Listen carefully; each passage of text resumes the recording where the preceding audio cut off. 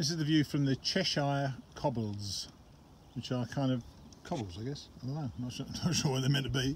This is this is marble, and this is one of you's Mercury, and one of you's that's Mercury, and Everview. Everview, an Everview, but this is the view.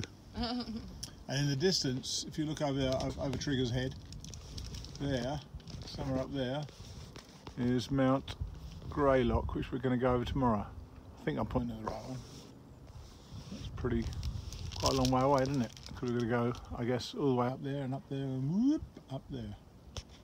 Nice.